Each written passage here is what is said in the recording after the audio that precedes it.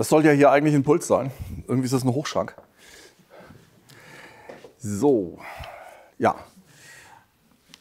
Herr Dr. Wipperfürth, meine Damen und Herren, also erstmal danke, dass ich hier sein darf. Und ich glaube, ich, ähm, ähm, wenn Sie einverstanden sind, werden wir nicht viel mehr über meine Person sagen. Ähm, bis auf die Tatsache, dass, das bin ich heute Abend gefragt worden, ich denke, das, das sollte ich dann auch sagen. Natürlich hätte ich mir das alles anders gewünscht. Allerdings, wenn es anders gekommen wäre, wäre ich nicht hier. Ähm, und ich bin im Gegensatz zu anderen, ähm, bin ich, das ist nicht dumpfe Selbstbewusstsein, ich bin zutiefst mit mir im Reinen. Ähm, ich bin nicht jemand, der nachtrauert. Don't look back in anger, würden die Amerikaner sagen. Ähm, ich denke einfach, man muss die Dinge, ja, Sie kennen das, ich bin, bin ein gläubiger Christ, und Sie wissen aus der Bibel, eine Tür schlägt sich zu und eine andere geht auf. Also insofern ist das alles nicht so dramatisch. Wenn ich jetzt hier gleich von ablese, liegt das nicht daran, dass ich nicht in der Lage wäre, frei das zu halten. Aber nachdem ich weiß, dass ich aufgenommen werde, und Sie werden für sicherlich mit dem Augenzwinkern feststellen, dass es vielleicht meine Erfahrung mit aufgenommenen Sachen immer etwas anders sind. Aber ich glaube, äh, das wird, es, äh, wird kein Problem sein. Also, meine Damen und Herren, ich danke Ihnen herzlich für den Empfang und die Gelegenheit, in Ihrer Gesellschaft vortragen und mitdiskutieren zu dürfen. Und wie gesagt, als die Herren hier vorne vor einigen Wochen mich kontaktierten und meinen Beitrag für den heutigen Abend, sagen wir mal, festklopften, saßen wir im kleinen Restaurant und sprachen über unsere eigenen Perspektiven und Erfahrungen zu diesen und natürlich auch anderen Themen. Dabei ist es immer wieder beruhigend, ganz ernsthaft, dass man mit seinen Gedanken und Schlussfolgerungen nicht völlig allein ist. Manchmal glaubt man das ja, man sagt, mein Gott, die Welt. Ne? Aber nein, wir waren nicht allein. Vielmehr kann ich konstatieren, dass ich in den letzten zwei Jahren nach meinem Eintritt in den sogenannten vorläufigen Ruhestand eine zweite Öffentlichkeit kennenlernen durfte, die mit Sicherheit keine Minderheit ist. Tatsächlich ist, und das ist auch gut so, die Skepsis, das Unbehagen und auch der Wunsch der Befreiung vom allgegenwärtigen Framing, der intellektuellen Bevormundung und der monokausalen Narrative so stark, dass wir alle zuversichtlich sein können, dass der ergebnisoffene Diskurs vor allem, Sie erinnern sich, der herrschaftsfreie Diskurs nach Habermas, Abgeordneter, wieder die Oberhand gewinnt. Und ganz ehrlich, das ist natürlich eine Einschätzung meinerseits, nicht diese ewig einseitig paternalistischen Erklärstücke des öffentlich-rechtlichen Rundfunks, des Erziehungsfernsehen, sondern der freie Meinungsaustausch an Universitäten, Schulen, in Stiftungen oder eben hier mit Ihnen. Das ist der wahre Nährstoff der Demokratie. Es ist auch zunehmend unerträglich, tagtäglich einen verordneten Meinungsbrei serviert zu bekommen, sei es nun in Talkshows, bei vielen Nachrichtenagenturen oder in deutschen Vorabendfilmen mit betont volkspädagogisch wertvollem Inhalt. Andere Meinungen auszugrenzen, Menschen zu diskreditieren oder aus Ämtern zu entfernen, wird der freien Gesellschaft nicht gerecht. Fragt sich lediglich, ob diese Freiheit von den Verantwortlichen überhaupt gewollt ist. Also umso mehr danke ich Ihnen noch für Ihre Einladung. Ich habe noch eine Sache und zwar, das ist natürlich eine, eine, Binse oder eine Kleinigkeit. Die Tatsache, dass ich diese Krawatte trage, ist heute nicht nur zu Ihnen zu Ehren, dass ich eine Krawatte selbstverständlich trage, wenn ich hier bin. Damit meine ich nichts Böses gegen diejenigen, die keine tragen. Aber dieses hier, das können Sie vielleicht von der Entfernung nicht sehen, ist eine Krawatte, die ich seinerzeit, das sehe ich ihn gar nicht, von dem Leutnant außer Diensten Czapke geschenkt bekommen habe im Jahre des Herrn 2007 und ich hörte, dass er heute da ist, also trage ich sie. Ich hoffe, sie passt einigermaßen dazu. Das Thema, Dr. Filperfürth sagte es schon, lässt sich natürlich nicht wirklich in diesen gegebenen 30 Minuten abhandeln, vielleicht ein paar Minuten mehr. Zudem sind die Politikfelder, die hier angesprochen werden müssten, um ein komplett umfassendes Bild zu zeichnen, so weit, so vielfältig, dass an schätzungsweise vier Stunden Referat die Untergrenze darstellen würde. Wenn Sie das möchten, tue ich das.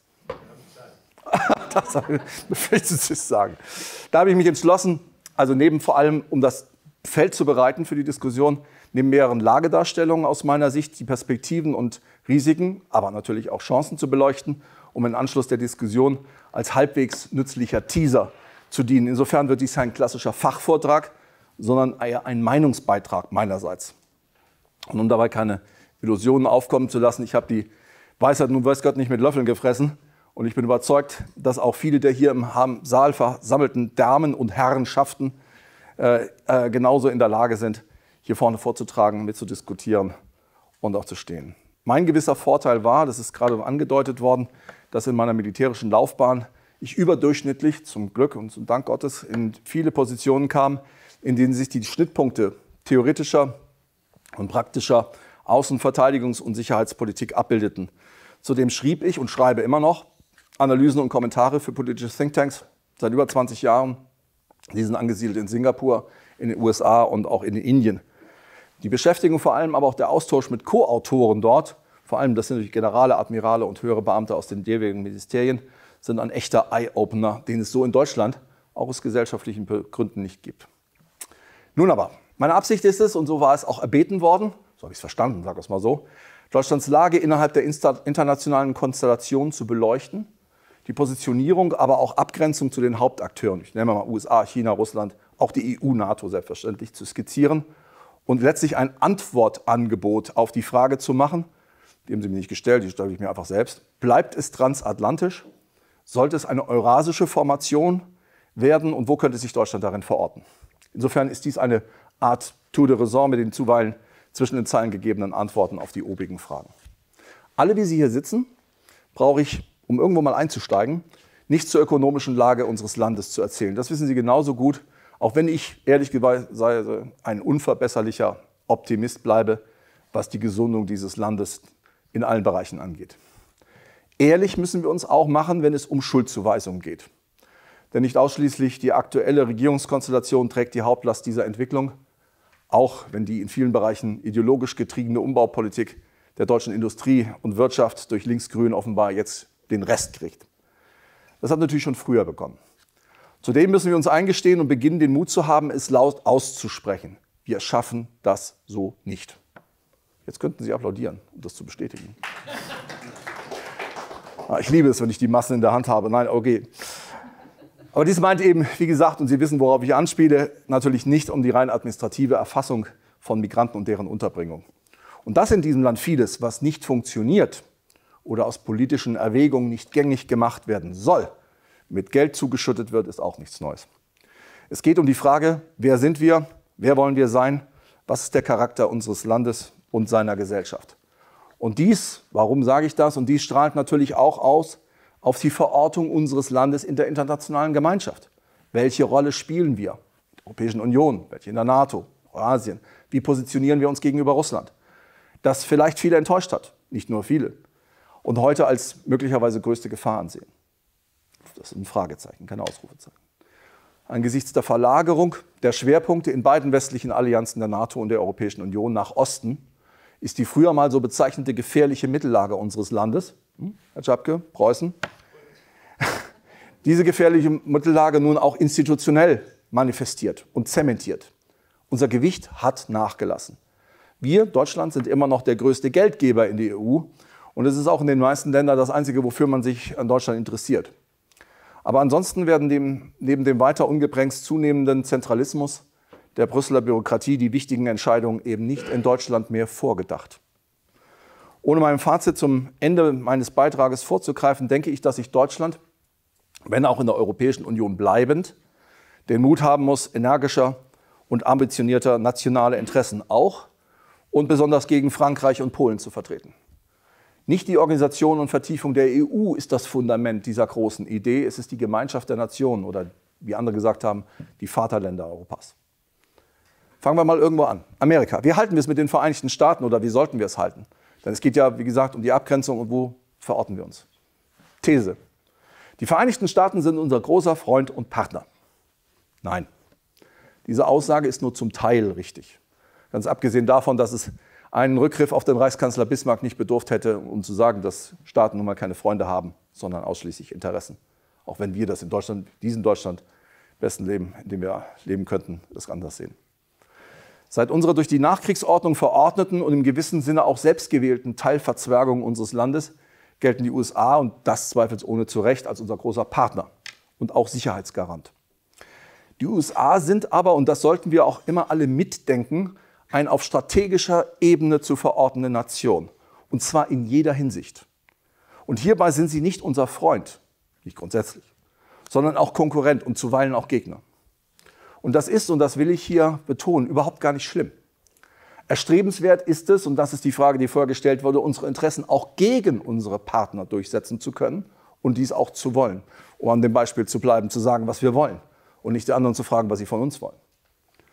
Oft, und das kann man in unseren Medien zuweilen mitverfolgen, ist fast schon putzig, zeigt man sich überrascht oder wechselweise empört oder übergangen, wenn die große Nation USA scheinbar über unsere Köpfe hinweg strategische Entscheidungen trifft.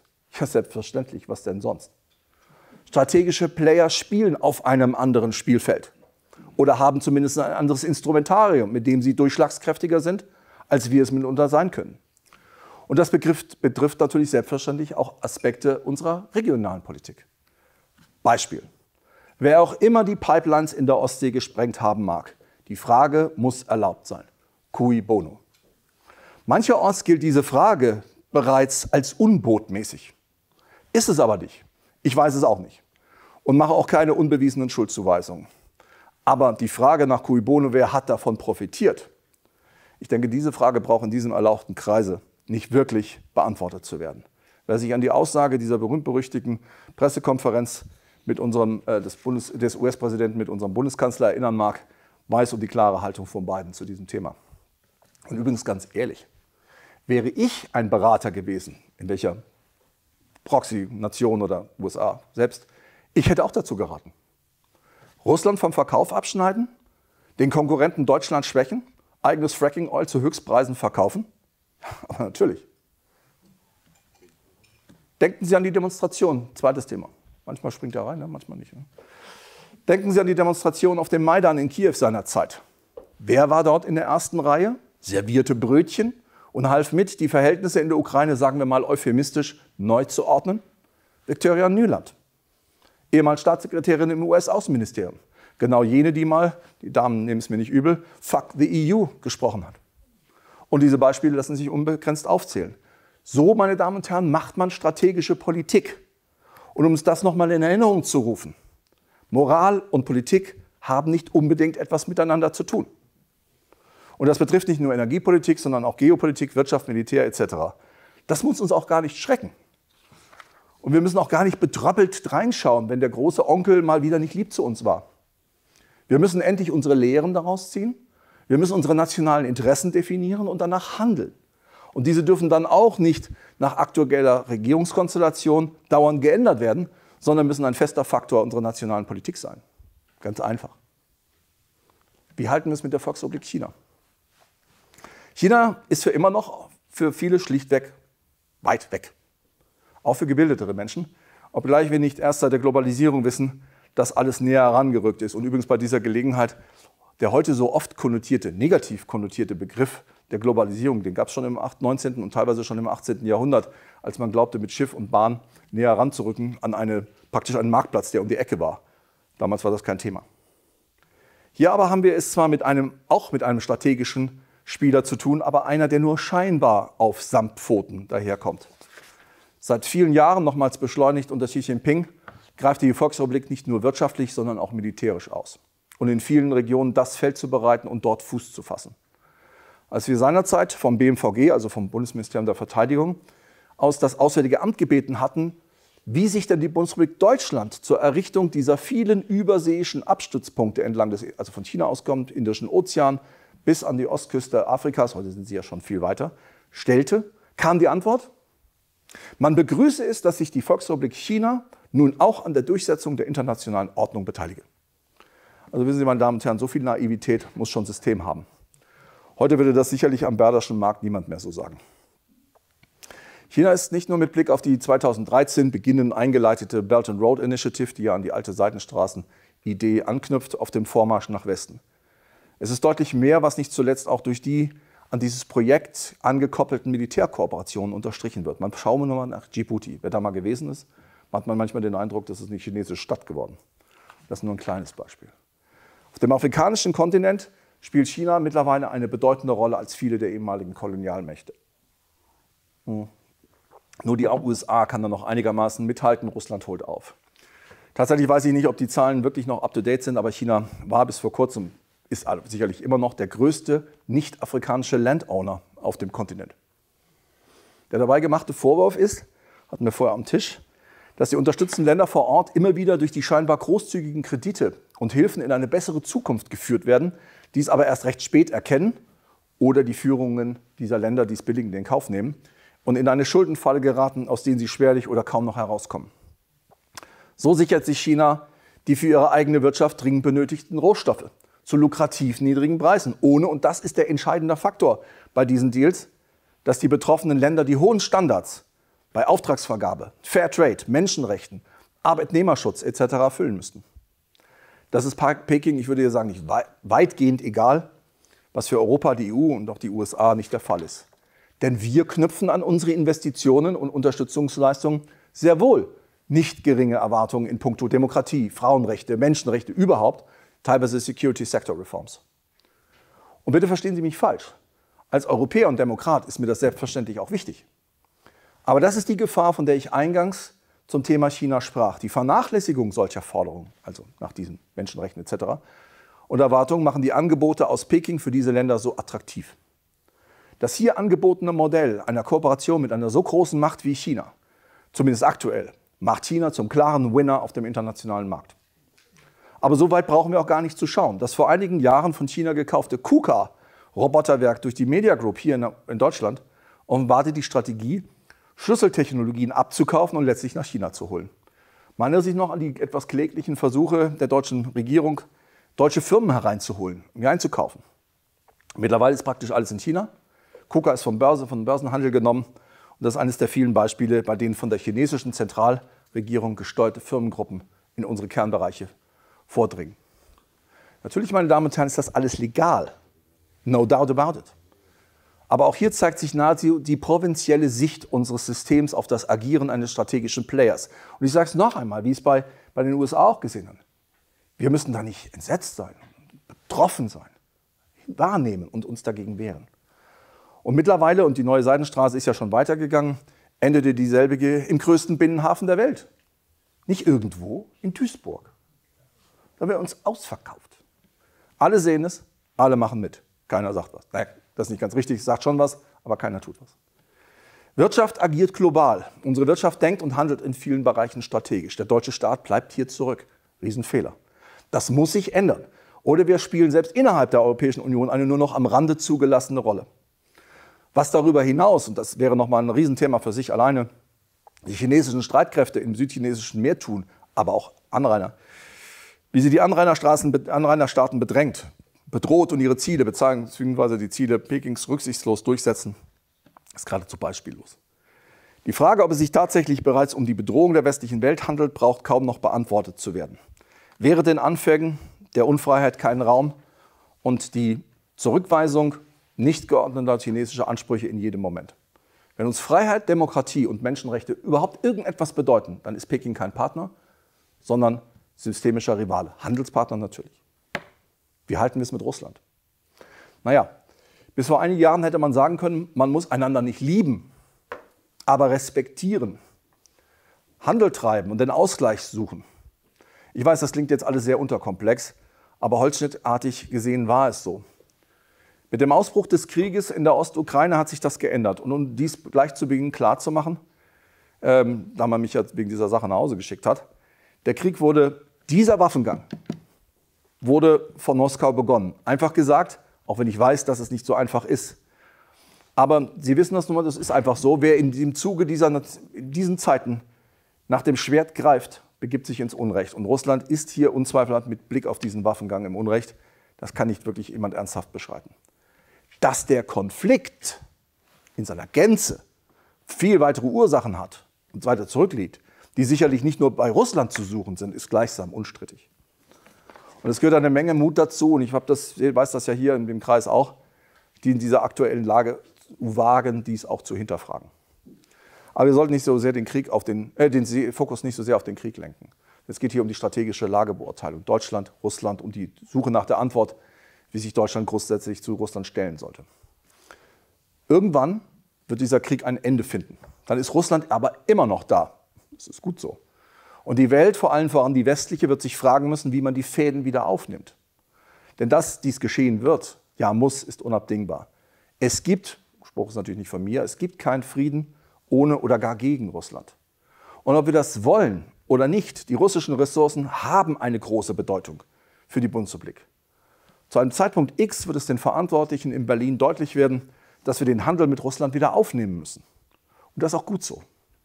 Das bedeutet nicht, dass Russland für seinen Krieg belohnt werden darf oder dass das mit Appeasement zu tun hat. Es ist aber gesunder politischer Verstand und Aussagen mancher Politiker in diesem Land wie, man muss die Russen so schädigen, dass sie jahrelang nicht mehr auf die Beine kommen. Oder nie wieder darf Deutschland Rohstoffe aus Russland zu kaufen. Das ist schlicht nicht nur Unsinn, das ist gefährlich. Und dumm ist es allemal. In einem ersten emotionalen Impuls, wenn der Politik nichts zu suchen hat, kann man das vielleicht noch verstehen. Aber strategische Weitsicht sieht anders aus. Noch einmal, der Krieg selbst ist nicht zu rechtfertigen, aber wir brauchen uns dennoch gegenseitig. Rohstoffe, Menschen, Fertigprodukte, Ideen, vor allem der Braindrain und vieles mehr. Aber wir brauchen als Europa auch Russland in einem zunehmenden Konflikt mit der Volksrepublik China. Äh, ganz süß, als ich das vor zwei Jahren oder zweieinhalb Jahren so sagte, wurde mir das gesagt, das sei krude Weltpolitik. Heute erzählt das jeder. Aber hey, ist es gut so. Hier leichtfertig daherzureden, ähm, eine stärkere Allianz, das müssen Sie immer genau beobachten, eine stärkere Allianz zwischen Moskau und Peking ist unvorstellbar, ist undenkbar, wird nicht passieren. Ist ausgeschlossen. Das gefährdet unsere Position, weil es dummes Zeug ist. Wer sich die Reisen des, des, äh, russischen Präsidenten anschaut, wer die Manöver der beiden Marinen im Fernen Osten analysiert und wer das gemeinsame Agieren mit nicht, weiß Gott, nicht unbedeutenden Ländern im Rahmen der BRICS aufmerksam beobachtet, muss sich sorgen, wie wir dazu beitragen, sich das größte Land der Erde mit seinen schier unerschöpflichen Quellen nicht auf alle Zeit gegen den Westen und Deutschland stellt. Das müssen wir verhindern. Wir haben nach 2001 die ausgestreckte Hand Russlands leichtfertig ausgeschlagen, also wir, der Westen. Und durch die ungebremste NATO-Osterweiterung und in Teilen ignorante Einstellung gegenüber den berechtigten Interessen Russlands, seine Vorstellungen zu einer Sicherheitsarchitektur an seiner Westgrenze zu respektieren, haben wir dazu beigetragen, dass wir in dieser Lage heute sind. Ich sage ganz bewusst respektieren, das habe ich damals in Indien auch gesagt, dass solche Vorstellungen existieren. Die muss man sich ja nicht alle eins zu eins zu eigen machen. Haben ja auch eigene Interessen. Aber nur die eigene Sicht der Dinge gelten zu lassen und andere zu leugnen, wird uns immer wieder zum Nachteil gereichen. Auch hier ist Beschwichtigung nicht die Antwort, wohl aber die Handreichung in einer bestimmten Zukunft, die wir Deutschen, wie wir Deutschen sie seinerzeit auch erfahren haben. Ein anderer großer Player. Wir halten es mit der Europäischen Union. Sie ist ein Erfolgsmodell. Ja, bis zu einem gewissen Grade. Ich selbst war immer etwas unschlüssig. Kooperation von Vaterländern? Ja. Gemeinsamer Wirtschaftsraum ohne Zollschranken? Ja. Standardisierungen? Ja. Friedensraum? Ja. Aber dann geht es doch schon langsam dem Ende zu. Gemeinsame Verfassung? Nein. Euro-Armee oder Europa-Armee ist eine wahre Illusion. Und eine Sozialunion? Auf keinen Fall. Wer will das bezahlen? Tatsächlich muss man sich fragen, warum ein grundsätzlich so erfolgreiches Modell bei den Bürgern in Misskredit gebracht wird durch Überfrachtung mit Regeln, kultureller Nivellierung und durch Abstrafung erfolgreicher Länder, durch leistungsfeindliche Ausgleichung aller Schulden. Und Deutschland als Höchstzahler und im zwanghaften Drang, der ewige Musterschüler sein zu wollen, ergibt sich den Forderungen anderer, vor allem Frankreichs und Polens, anstatt knallhart seine Interessen zu verfolgen, wie dies nahezu alle anderen Länder auch tun. Das ist auch nicht rücksichtslos, das ist selbstverständlich. Natürlich legen wir auch mal die Bandagen an, aber insgesamt darf die Frage gestellt werden, ob wir dies im ausreichenden Maße tun. Zwischen den beiden Polen, Washington und Peking dabei ist die zunehmende Kraft der BRICS-Plus-Staaten noch gar nicht berücksichtigt, sinkt die Bedeutung der Europäischen Union. Das hat viele Gründe, sie alle hier zu beleuchten, ist völlig unmöglich. Wir müssen uns als Mitgliederbund wieder auf die Kernkompetenzen, den Uranspruch bei der Unterzeichnung der römischen Verträge konzentrieren. Nicht die Erweiterung um jeden Preis ist entscheidend. Mit Ländern insbesondere, die dem Anspruch der Europäischen Union eben nicht gerecht werden, die EU zu stärken. Das ist nämlich die Voraussetzung, um aufgenommen zu werden sondern die Konsolidierung im Inneren, die Förderung der Demokratie und die Steigerung von Produktivität und ökonomischer Kraft muss wieder im Mittelpunkt stehen. Und nicht zuletzt die Abwehr unkontrollierter Migration, eine Waffe.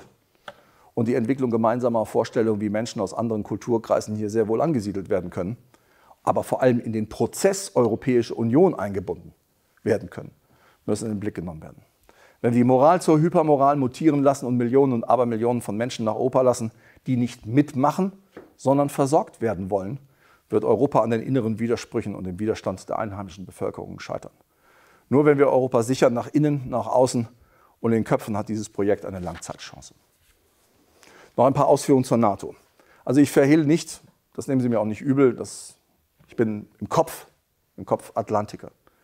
Historische Erfahrung, die ökonomische Kraft der Allianz, die nukleare Absicherung, der Bund der Demokratien und nicht zuletzt das Schutzversprechen nach Artikel 5 der NATO, lass uns politisch und strategisch unklug scheiden, das mächtigste und größte Militärbündnis zu verlassen. Wie es hier zwar von, nicht unbedingt gefordert, aber so doch diskutiert wird. Das wäre es auch. Aber schon lange, und das muss man zugeben, ist die NATO kein reines Verteidigungsbündnis mehr. War es auch nie, vielleicht ganz in den ersten Jahren. Es ist ein Pool von Staaten, aus dem sich auch Einsätze in aller Welt die militärischen Instrumente zusammensetzen lassen, um Macht zu projizieren und Interessen, auch geopolitisch, durchzusetzen. Und erneut bitte ich Sie, diejenigen unter Ihnen, die unter Power Projection, also Machtentfaltung, Machtprojektion, weltweiten Militäreinsätzen und Interessenswahrung so ihre Probleme haben, zu akzeptieren, dass die NATO erneut ein strategischer Player ist. Und wir als Deutschland, das müssen wir auch zugeben, profitieren auch davon, auch wenn zuweilen die Menschen in unserem Land diese Mittel ablehnen, mit der die Allianz in aller Welt auftritt. Dennoch, das ist unstrittig, bei aller Reformbedürftigkeit, die eine große Organisation nach Jahrzehnten ihres Bestehens immer aufweist, die Bundesrepublik ist durch die bewusste Westorientierung der ersten Bundesregierung unter Konrad Adenauer, viele nannten ihn ja den rheinischen Separatisten, ganz gut damit gefahren. Und ich hoffe, das ist natürlich jetzt sehr schwarz-weiß, wir sind uns einig, dass die Alternative äh, eines Gesamtdeutschlands innerhalb des Warschauer Paktes sicherlich eine Katastrophe gewesen wäre. Und inwieweit das Angebot Stalins zur Wiedervereinigung äh, bei gleichzeitiger Neutralität ausreichend seriös war, darüber scheiden sich die historischen Geister. Insofern in meinem abschließenden Teil meines Beitrages die Frage muss beantwortet werden, quo vadis Germania oder besser quittes optima via, also was ist der beste Weg Deutschland? Somit die abschließende Fragestellung. Transatlantisch oder eurasisch? Ich sagte bereits, im Kopf bin ich Atlantiker. Das hat viel mit meiner Sozialisation zu tun. Ich komme aus einer Offizierfamilie, die insbesondere nach dem Krieg mit Freund und Partner USA aufgewachsen ist. Ich selbst bin als aktiver Offizier oft mit den Partnermarinen in Übungen und Einsätzen unterwegs gewesen. Der Warschauer Pakt war der Feind, die Rote Flotte, weniger DDR, war der erklärte Gegner, insbesondere die sowjetischen U-Boote, die es im Ernstfall zu jagen galt. Das ist alles Geschichte, im wahrsten Sinne Kriegsgeschichte. Also legen wir nebeneinander, was es denn zu bieten hat. Transatlantisch. Die USA im Wesentlichen als Führungsmacht. Große Demokratie, Supermacht, noch die größte Volkswirtschaft, Deutungsmacht. Weltweiter Taktgeber, Atommacht durch Einsätze, Routinen und Erfahrungen, die stärkste Armee der Welt, erste Nation im, im stärksten Militärbündnis aller Zeiten. Aber auch, wie schon weiter oben gesagt, knallharter Durchsetzer eigener Interessen. Der Colt sitzt locker zusammen mit den Vereinigten Staaten Großbritannien, uns ähnlicher als denen lieb ist. Lange Zeit Gegner, wirtschaftlich, militärisch, aber auch seit vielen Jahren, Zehnten mittlerweile verlässlicher Bündnispartner. Beide Nationen, mehr aber noch das Vereinigte Königreich, und das ist ganz wichtig für uns zum Verständnis, warum wir auch so aufgestellt sind, wie wir über die Jahrhunderte, naja, sagen wir mal, an letzten anderthalb Jahrhunderte aufgestellt waren. Beide Nationen, die Angelsachsen, warnten stets davor, dass es eine tiefe Allianz Deutschlands mit Russland geben, niemals geben dürfe. Russische Ressourcen und Manpower, gepaart mit deutschem Erfindergeist und Ingenieurskunst, wurde im damaligen Gefüge Ende des 19. Jahrhunderts nur schaden. Aber seien wir ehrlich, es hätte dem angelsächsischen Verständnis der Aufteilung der Welt und der Kontrollmacht weltpolitischer Geschichte jener Zeit nachhaltig geschadet, wenn es dies nicht sogar ernsthaft hätte gefährden können. Daher war eine solche Allianz zwischen Russland und Deutschland immer zu stören. Es gibt da wunderbare Dokumente darüber, wie Außenminister und viele andere, gerade in, in London, aber auch in den USA. Bei London war es das Wesentliche, weil damals war er noch Weltpolizist, wirklich interessant und signifikant Ausdruck geben, wie nur niemals Russland mit Deutschland. Wer weiß, was geschehen wäre. Die vielfältigen Bindungen zwischen Deutschland und Russland wären zu beider Vorteil in ein, damals in ein dauerhaftes Bündnis gegossen worden. Aber wie Sie alle wissen, die Frage in der Geschichtswissenschaft verbietet sich, was wäre gewesen, wenn mit Frankreich ganz kurz angeschnitten als einer semi-atlantischen Macht verband uns eine stete Feindschaft, die an einem ersten Versuch mit Stresemann und Briand, dann später mit äh, Adenauer und de Gaulle überwunden werden konnte. Ich finde immer nett, dass man das mal so mal zitiert. Frank-Walter Steinmeier hatte mal berichtet, dass zwischen den beiden Ländern eine seltsame Zu- und Abneigung darin bestünde, dass Deutschland stets danach trachte, dass die Franzosen die Deutschen liebten, aber von diesen nur respektiert würden. Hingegen die Franzosen wünschten, die Deutschen würden sie respektieren, aber leider nur liebten. Aber auch trotz aller Verwerfungen und Eifersüchteleien hat man eine Aussöhnung geschafft und dies mittlerweile auch mit anderen Ländern, mal mehr, mal weniger. Eurasisch. So komme ich zum letzten Aspekt, der die Frage beleuchten sollte, in welche Richtung wir gegebenenfalls gehen sollten. Denn es kann sich nur um eine Neuorientierung handeln. Die, wie gesagt, unzulässige Frage, was wäre gewesen, wenn hätte Deutschland sich entweder Anfang des 20. Jahrhunderts oder in der Zwischenkriegszeit Richtung Osten orientiert, muss unbeantwortbar bleiben. Und wiederum bekenne ich, dass mein Herz zuweilen für Russland schlägt. Nicht nur zuweilen, sehr viel eigentlich. Und da ich weiß, dass jene, die mich seinerzeit aus dem Amt haben wollten und entsprechend schrieben und schrien, auch erneut sicherlich nur einen Teil meiner Ausführungen zitieren würden, fahre ich fort, dass ich natürlich trotzdem die Ungeheuerlichkeiten der russischen Politik der letzten Jahre nicht gutheißen kann. Aber hier geht es um was Grundsätzliches. Mein lieber Großvater, Gott hab ihn selig, der zweifellos kein Philosoph war, meinte auf eine ähnliche Frage, ist uns Russland nahe oder der Westen? Er sagte, ihm seien die dunklen Wälder und die weiten Ebenen und die tiefe Seele Russlands viel näher als die lauten Amerikaner, die frechen Franzosen oder das perfide Albion. Nun, Sie können sich alle denken, das ist natürlich, dass solche Worte und Gedanken unter dem Eindruck zweier Weltkriege und einem weitläufig anderen Curricular in den Schulen seiner Zeit zu verstehen sind, als das heute der Fall ist. Somit, auch wenn Eurasien natürlich größer ist als, das, als die russische Föderation, sehe ich hier natürlich Moskaus Reich im Blickfeld zur Beantwortung der Frage. Und trotz, ja, und jetzt wird es natürlich hart für die Eurasische Gesellschaft, trotz meiner tiefen Verbeugung vor der russischen Seele, und die ist ernst gemeint, einer unsäglich großen Geschichte, aber auch dem unsäglichen Leid, den deutsche Truppen in Russland angerichtet haben und in Kenntnis der vielfältigen Bindungen, nicht nur dynastisch, zwischen unseren beiden Ländern, ist die demokratische Tradition die Idee der Freiheit des Einzelnen unter Christus und einer liberalen Verfassung, die sich daraus manifestierte, meine Wahl. Die fernen Länder jenseits der russischen Grenzen, die seit vielen Jahrhunderten oder zumindest Jahrzehnten dem Kollektiv unter den jeweiligen Nomenklature den Vorzug gaben und geben und die der Autokratie den Weg geebnet haben, sind nicht meine Wahl. Eine heutige Neuorientierung, das wäre die Frage, käme historisch zu spät machte uns zu einem viel zu starken Neuserbien und würde uns unsagbar isolieren und wirtschaftlich wahrscheinlich an den Rand des Ruins bringen und uns gesamtstaatlich in erheblichem Maße schaden. Dennoch, und das ist das Entscheidende, muss eine deutsche verantwortungsvolle Politik, die sich all dessen bewusst ist, zum rechten Zeitpunkt wieder den Weg, den Russen den Weg nach, nach Westen reichen und weisen. Wir waren nach dem Krieg die große Diplomatiemacht mit vorzüglichen Männern und Frauen, die ein Gespür für diese Politik, diese angesprochene Mittellage hatten. Das ist aus dem Blick geraten. Die Ursachen dafür sind offensichtlich. Wir waren nicht ein Land der Schaukelpolitik, sondern des Brückenschlags. Das können wir wieder sein und das werden wir auch wieder sein. Nicht in der aktuellen Konstellation.